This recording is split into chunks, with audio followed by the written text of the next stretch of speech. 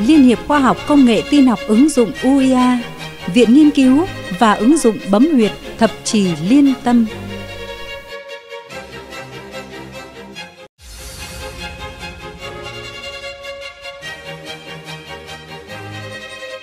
dân cũng 10 hơn 10 năm rồi nhưng mà càng ngày nó càng đau đi lên đi xuống cầu thang thì đi không có nổi đâu à, bước từng bước là cũng đau đớn lắm nhưng mà rồi tôi cũng theo dõi trên mạng nhưng mà không chưa có điều kiện đi vì hoàn cảnh gia đình.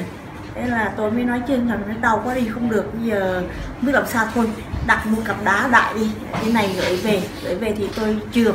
Tôi nói thôi bây giờ chỉ có chườm cái gan đi cái đã rồi từ từ mình tính. Thì tôi chườm như vậy là được ờ, một tuần. Một tuần thì tôi đi nó đỡ không thấy đau.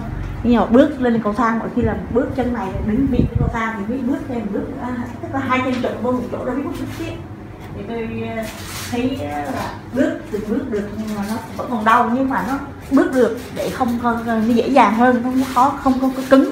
Và chân nó rất là cứng. Sau đó là tôi mới về đây.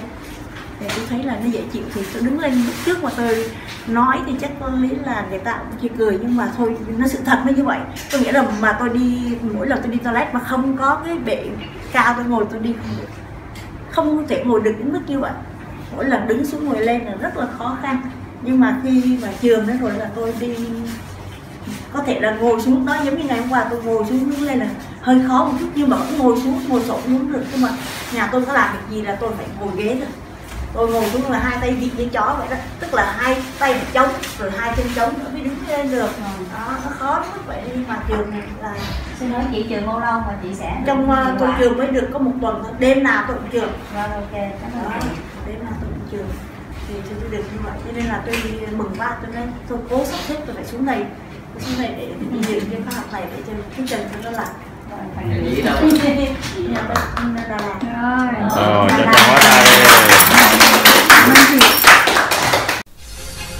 Liên hiệp Khoa học Công nghệ Tin học ứng dụng UIA, Viện Nghiên cứu và ứng dụng bấm huyệt thập trì liên tâm